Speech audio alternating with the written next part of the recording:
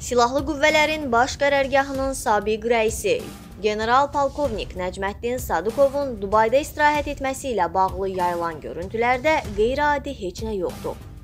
Kütləvi informasiya vasitələrinə istinadla xəbər veririk ki, bu sözləri ehtiyatda olan polkovnik Şair Ramaldanov general polkovnik Nəcməddin Sadıqovun Dubayda istirahət etməsi ilə bağlı yayılan görüntülər haqqında danışarkən deyib.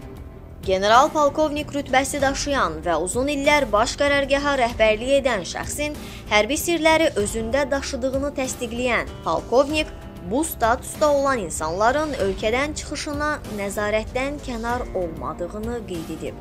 Stat Nəcməddin Sadıqov bu gün Dubaydadırsa, deməli ona ölkədən çıxmaq üçün icazə verilib. Buna görə də mən burada qeyri-adi nəsə bir şey görmürəm. Staten Solo.